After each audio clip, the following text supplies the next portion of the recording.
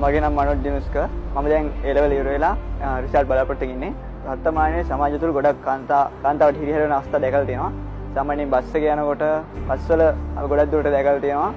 ඊට පස්සේ පාරේ සාමාන්‍යයෙන් පාළු ස්ථාන කියන්නේ දැන් බස් වලට එක්ක ඉන්නකොට ගොඩක් ඉන්නවනේ එක ගෑල්ලමක් ඉන්නවනේ. එතනත් සාමාන්‍යයෙන් වාචිකව කියන්නේ කායික නැතුණාට වාචිකව මානසික මේ හිරිහැරක් වෙනවා.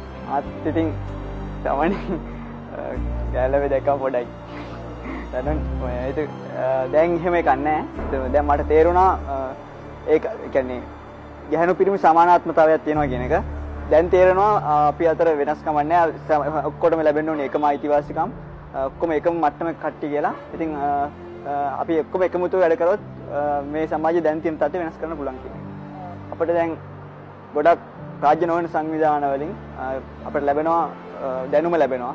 ඉතින් ඊට අමතරව රාජ්‍ය අපිට ගන්න පුළුවන් අපේ ගමේ කට්ටියකින් ප්‍රජාව ඊට පස්සේ ගමේ සාමාන්‍යයෙන් අර රාජ්‍ය නිලධාරීන් ඉන්නවා. ඊට පස්සේ පොඩ්ඩක් තේරෙන කට්ටියට ඊට පස්සේ ප්‍රභු කට්ටිය ඉන්නවා. ඒ කට්ටියන් අපිට ගන්න පුළුවන්. ඊට පස්සේ යාළුවෝ එකතු කරගෙන යූත් අපි ප්‍රදේශීය යූත්ලා හැටියට අපට පුළුවන් සංවිධානات එක්ක එකතු වෙලා ඉතිරි කට්ටිය ඉතිරි කට්ටිය ගැන මේ පිළිබඳව දැනුවත් කරන්න. ඊට පස්සේ කැම්පේන් කරලා ඊට පස්සේ තව පෝස්ටර් ගහලා ඊට පස්සේ පොඩි පොඩි දේශන සංවිධානය කරලා අපට පුළුවන් මේක පිළිබඳව දැනුවත් කරන්න.